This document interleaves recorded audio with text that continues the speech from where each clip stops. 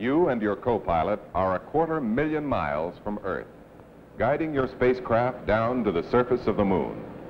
A third member of the flight crew in another spacecraft is maintaining a lunar orbit until you return for the journey back to Earth. As your craft decelerates, you scan the lunar landscape, gliding over craters and craggy mountains. You approach the target area and begin searching for a level spot to land. What this spacecraft looks like and how it operates is our story today on Science Reporter.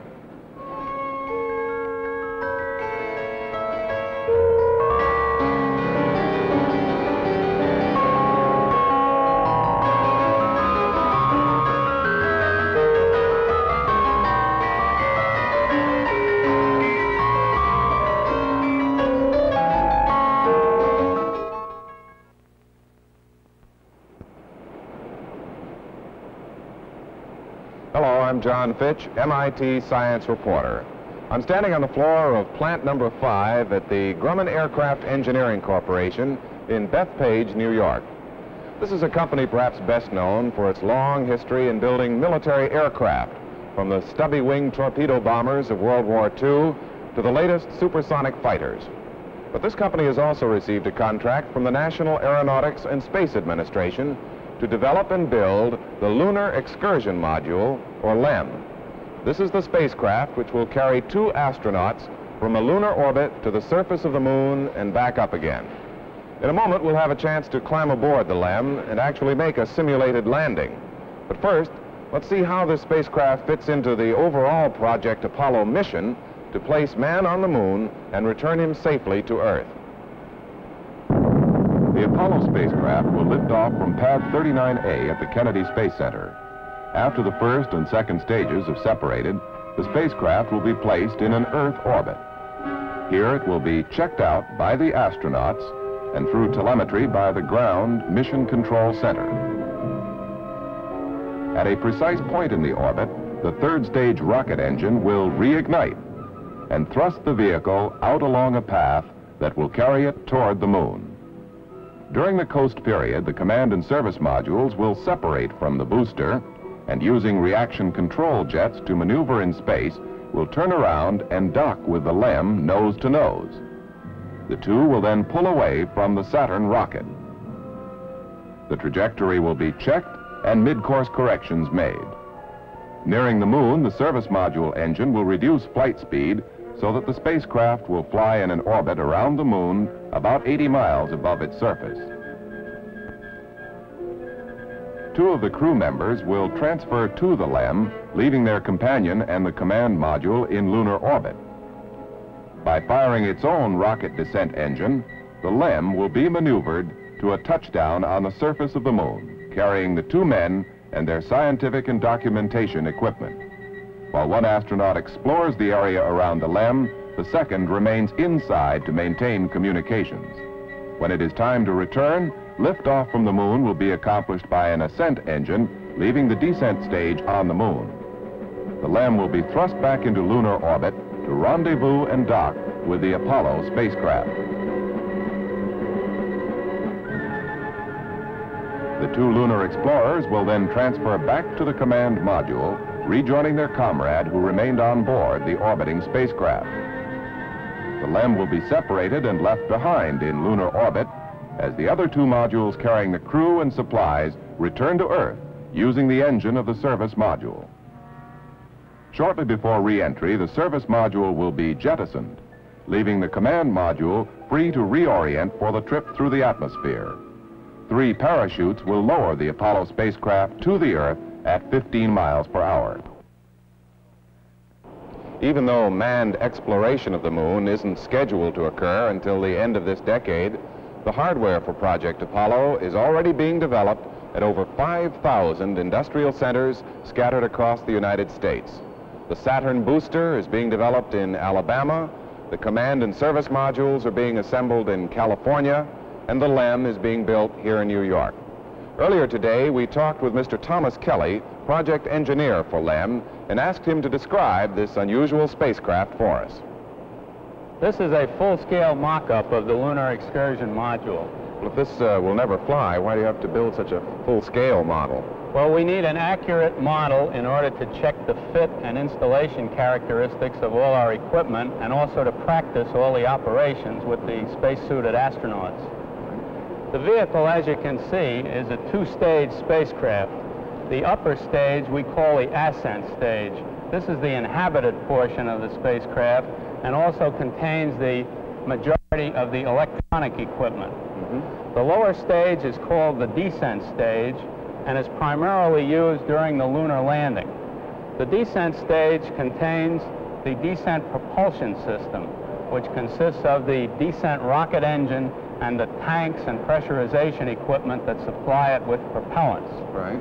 In addition to that, we, we uh, mount all equipment which we can leave behind on the lunar surface in the descent stage such as the scientific equipment that the astronauts will use in their lunar surface experiments. So you don't want to take anything back that you don't have to. Right. We want to save the weight as much as possible by leaving behind what we don't need. The other major component of the descent stage is the landing gear. We can get a better look at the gear over here. This leg over here appears to be sort of folded up. Yes, it's shown in the retracted position. All four of the landing gear legs will be retracted in this fashion while the LEM is stowed inside the spacecraft adapter. The adapter mounts the LEM to the Saturn booster vehicle. Right. Now, after the adapter is jettisoned, all four legs will be deployed by means of a spring-loaded mechanism. Now, I can demonstrate the, de the deployment of this, this one leg right here. I'll release this demonstration pin and the spring-loaded mechanism will de deploy the gear. In the actual case, this pin release is performed by a, an explosive device. That's out there and locked in position. Right. It stays, the gear stays locked, all four gears stay locked for the remainder of the mission. Now over here we have the scientific equipment bay this houses some of the typical experiments that the astronauts will conduct after they land on the lunar surface. We can remove the panel here and show some of the representative equipment. I mean, the astronauts would get down out of the spacecraft, come around here, and, and take out these uh, yes, pieces these, of equipment? these boxes are removable, and depending on what experiment they were conducting, they would take the boxes out and lower them down to the surface. Well, now, what sort of uh, experiments would they perform? Well, some of the typical uh, scientific experiments would involve uh, seismological measurements, looking for moonquakes on the lunar surface, measurements of the lunar atmosphere. Oh, really? I didn't think there was any atmosphere on the moon. There is calculated to be a very tenuous atmosphere on the lunar surface. In addition, the gravitational and magnetic fields would be checked with this equipment. These boxes here are concerned with geological measurements in which we would analyze specimens right on the lunar surface and in addition uh, take specimens back with us in sealed containers return them to Earth for further examination. I notice this panel over here says something about a uh, TV camera. Yes, we can uh, look inside this one. This houses the cables for various antenna that we set up on the surface, and also the TV camera, the portable TV camera that the astronauts will carry with them out onto the lunar surface. Does that mean that people on Earth will actually be able to uh, see what's going on with this? They will see real-time television transmission of the activities on the lunar surface. These cables will be connected to antenna and to the handheld TV camera, respectively. Well, it's going to be a very exciting uh, event. It sure will be. If we look down below the stage here, we can see the skirt of the descent rocket engine, which projects below the base of the descent stage. Mm -hmm. Now we have a full-scale mock-up of the descent engine over here. This is the skirt that we saw on the, on the spacecraft mock-up, and above it is the, are the combustion chamber and the plumbing and hardware which control the flow of propellants into the rocket engine. Do you mean you can control how much thrust you get from this engine? Yes, because of the lunar landing requirements, this must be a throttleable engine so that we can control the thrust to let the vehicle down gently on the surface. Over here is the ascent engine. This engine is used to lift the ascent stage uh, off from the moon and place it into lunar orbit. You know, it looks like an awfully small engine to be lifting that whole upper stage. Well, it's more than adequate to supply the required thrust when you consider that the gravity on the lunar surface is only one-sixth that of the Earth. So we don't need a lot of thrust, mm-hmm. and we can get by with a relatively small package. Well, now we can see the ascent stage more clearly if we go over the other side of the vehicle. Here we see the side of the ascent stage which has the thermal shielding removed. What do you mean by thermal shielding? The thermal shielding is the shiny skin that you see on the left there. It's used to insulate the spacecraft to protect it against the temperature extremes in outer space. It also serves as a bumper against the tiny micrometeoroid particles. What do you have in these uh, racks here, these long vertical things? This is our electronic equipment bay. Those long boxes are electronics which are packaged on a water glycol cooled cold plate. Because the electronics get too hot? Yes, it's mm-hmm. to remove the heat from the electronics. And what would you have in there? What sort of electronics? We have the rendezvous radar, electronics, also the autopilot, communications, and instrumentation equipment. Mm-hmm. Directly up here is one of the four reaction control jet clusters. There are four small rocket engines in each of the clusters. Each of those little ones is a rocket engine? Yes, they're 100 pounds thrust each, and they can fire very short impulses. They're used to maneuver the spacecraft and position it in whatever attitude we desire. Here you can uh, see the cylindrical tanks that supply the reaction control jets with propellant. Also, the large spherical tank is the oxidizer tank for the main ascent engine. The fuel tank is on the other side, and the ascent engine is in between. Right. Now, up above here is the S-band steerable antenna mounted on the tripod. This is a communications antenna which aims at the Earth tracking stations and transmits data back to Earth throughout the mission. Including those television pictures the astronauts might be taking? Yes. I see. Mm-hmm. Now, up at the front of the vehicle is the rendezvous radar antenna. This is also steerable, and it's used to aim at the command and service modules during the ascent and track them throughout the rendezvous maneuver. The platform and ladder here are used by the astronauts in descending from the spacecraft to the lunar surface. Now, we'll reverse the process and go on in. Oh, all right.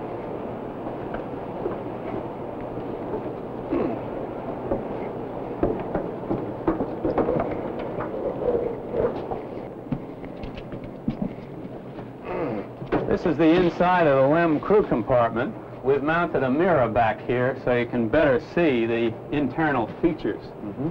This is the upper docking hatch through which the astronauts will enter the LEM from the command and service module. Mm-hmm. They will step down here on the ascent engine cover. The engine we looked at before is right on the other side of this cover. Right. They will then hook up their spacesuits to the LEM environmental control hoses located here. Is that how they get their air and uh, cooling and things like that? Yes, that's how they control their, their personal comfort and their air supply. It's controlled on these manual valves located in this area. Now, when they're out on the surface, of course, on the lunar surface, uh, they must unhook from those umbilical hoses and they wear this backpack. Each man has a backpack on the back of his spacesuit.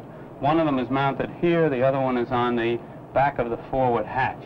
And this will provide them with enough oxygen to move around for a while on the moon? Yes, it, it makes them completely mobile on the lunar surface. What uh, keeps them from sort of rattling around in here while they're trying to land and take off? They're lightly restrained by a, a window washer type belt around the waist. Now here is the uh, flight station itself. The astronauts are in a stand-up position. You're in the commander's location. Right. I'm standing here in the co-pilot's location. Either astronaut can fly the vehicle. They share the critical flight controls, and they both have uh, complete visibility of the landing maneuver through the triangular windows. Mhm. The other window, the small window over your head, is used during the docking operation. When we're rejoining the command and service module. Right. This is the alignment optical telescope, which is used to align the inertial guidance system prior to liftoff from the lunar surface. Well, how soon will the astronauts be able to actually fly these uh, LEMs? Well, they'll never be able to fly an actual LEM on Earth due to the difference in the strength of the gravitational field on Earth as compared to the moon. Mm -hmm. The LEM doesn't have enough thrust to actually fly on Earth, even though it can fly very well on the moon. So much of our flying and practice landing will have to be done in simulated flight conditions and in carefully controlled simulations. Just follow me. This is test pilot Bob Smyth of Grumman entering the LEM simulator. We had the unique experience of riding with him during a recent test flight.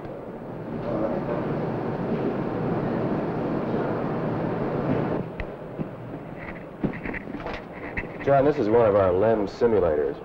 It's what we call an engineering design tool that we use in developing the Lunar Excursion Module. Is that so you can see whether the uh, controls will actually allow you to fly it properly? Yes, right.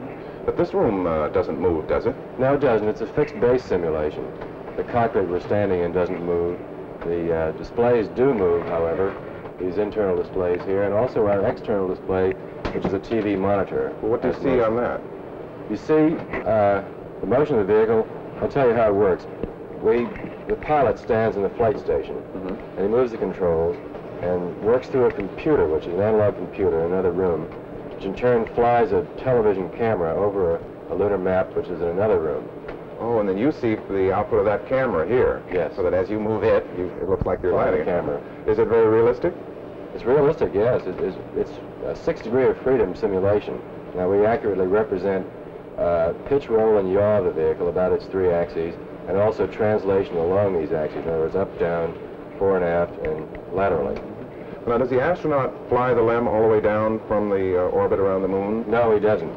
This is done to save, he could, but it's done to save fuel by an onboard navigation system and mm -hmm. computer, which flies it down to a manual takeover point. Now, in this particular simulation, we're simulating uh, the astronaut taking over at 225 feet.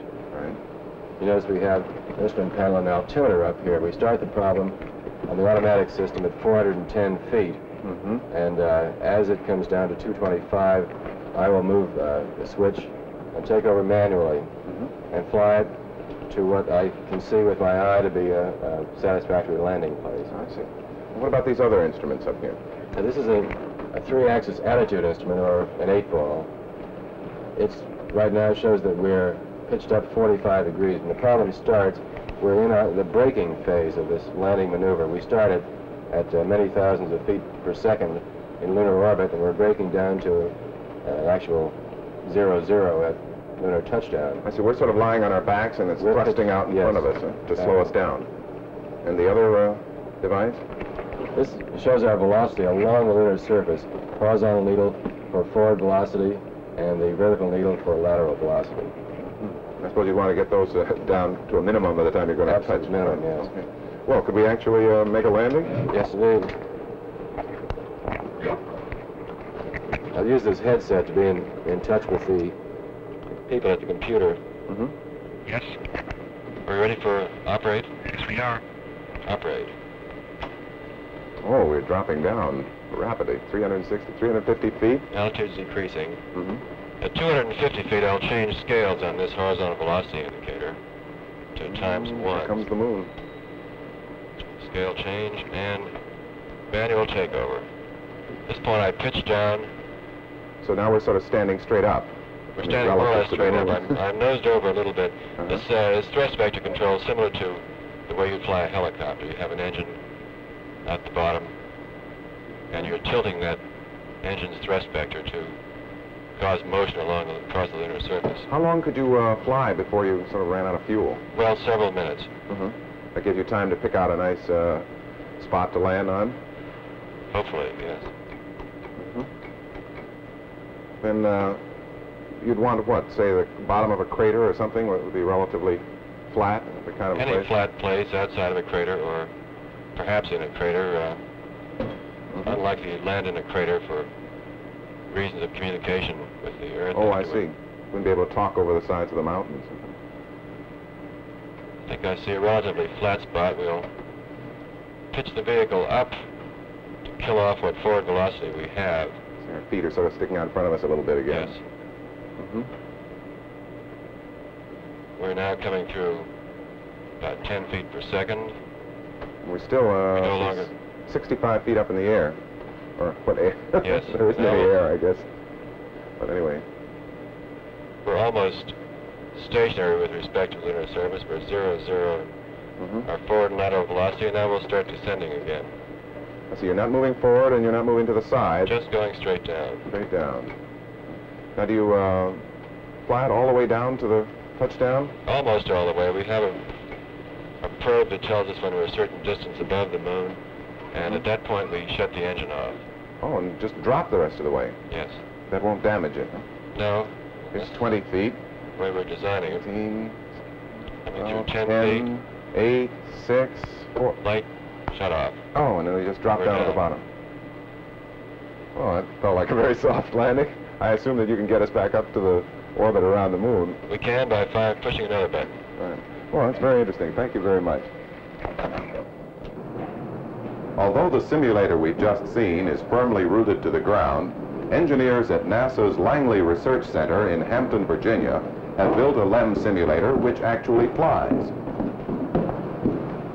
This is the Lunar Landing Research Facility developed to study techniques for landing LEM on the moon. This gantry structure is 250 feet high and 400 feet long. An overhead crane simulates the reduced gravity of the moon by supporting much of the weight of the research vehicle. The vehicle has hydrogen peroxide rocket motors to provide the main thrust and attitude control.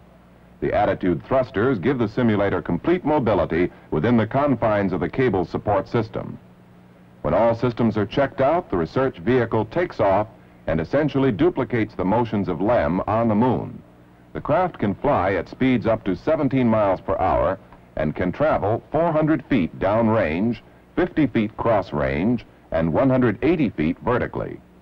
Later modifications will make it possible to catapult the vehicle downrange at 35 miles per hour to simulate the approach to the moon's surface.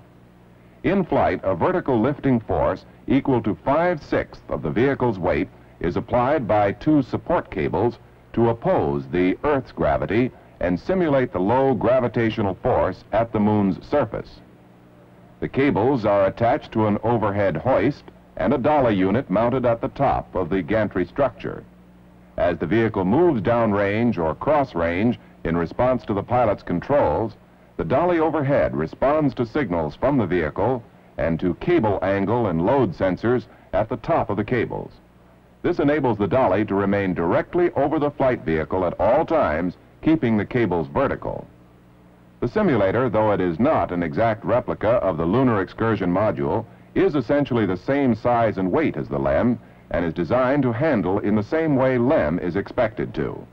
The ultimate purpose of the lunar landing facility at Langley is to reproduce as nearly as possible a lunar situation in order to study all aspects of rocket-powered lunar flight.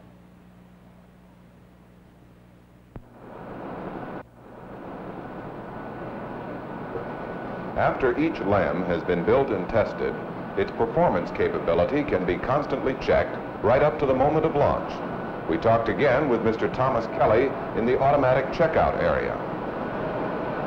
This is the LEM automatic checkout equipment area. This equipment is connected to the LEM and is used to conduct the various tests during the development phase and will also be used in pre-launch operations at Cape Kennedy. You mean this can actually make measurements automatically and decide whether they're right? Yes, it's a computer control system that stores test commands for the spacecraft and then compares the answers to determine whether the spacecraft has passed the test or not. So you don't have those men in their white coats going around with the clipboards and the voltmeter? Right, right. It's, uh, it's a very uh, capable system in that it can handle some four to 5,000 test sequences.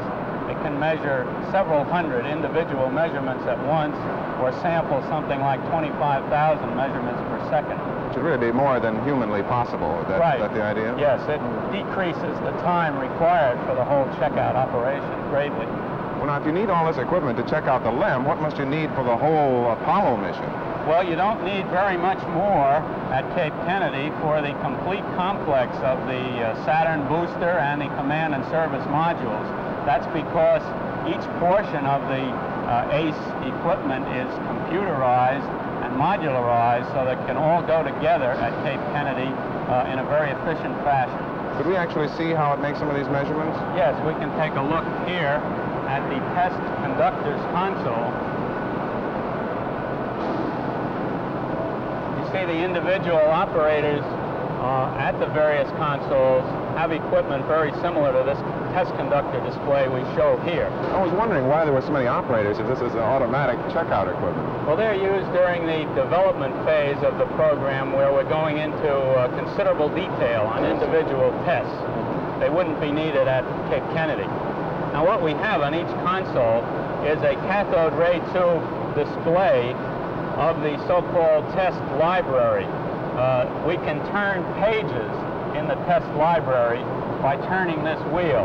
Now here I've called up page six in the test library, and I can read such things as helium tank pressure and temperature, fuel and oxidizer valve position, or the AC bus voltage. Now for instance, uh, item 13, the AC bus voltage, I can insert a command here which will cause this voltage uh, to go through a particular test sequence.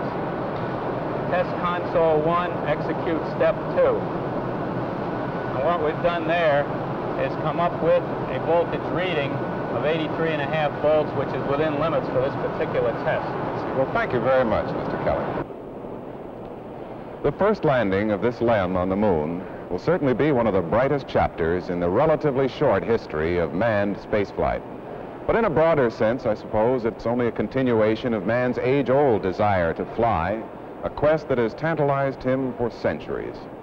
Leonardo da Vinci, who visualized man's flight 500 years ago, experienced the same fever when he wrote, For once you have tasted flight, you will walk the earth with your eyes turned skyward. For there you have been, and there you long to return. This is John Fitch, MIT Science Reporter.